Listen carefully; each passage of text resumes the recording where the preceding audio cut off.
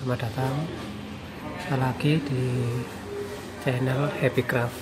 Nah, kesempatan kali ini saya akan berbagi cara trik untuk menghitung uh, tahanan komponen-komponen servis lampu. Nah, kita untuk menghitungnya biar tidak susah kita menggunakan aplikasi bisa download di Play Store namanya Electro Droid. Nah kita masuk ke Play Store. Kita ketik Electro Electro Droid.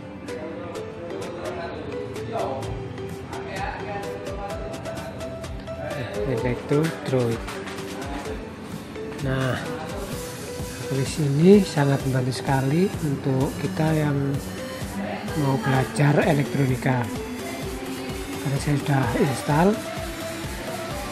Kita nah, nah. Semua kita mau menentukan nilai dari resistor. Nah ini kode warna resistor. Kita klik. Ini nilainya. Kita tinggal klik aja di ring sebelah kiri warnanya biru. Nah kita klik biru karena ring kiri biru. Terus abu-abu hitam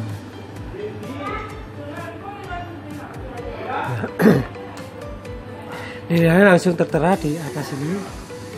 Tertera. 68 ohm terus ini ada emas. Ini toleransinya. Nah jadi lebih mudah untuk itu kita juga bisa untuk nilai indikator ini juga sama yang kita, kita coba lagi hitung ini.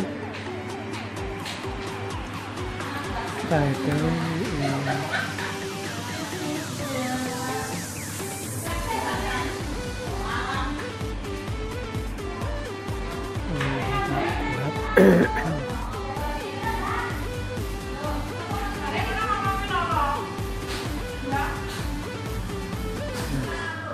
ini warnanya coklat hijau coklat.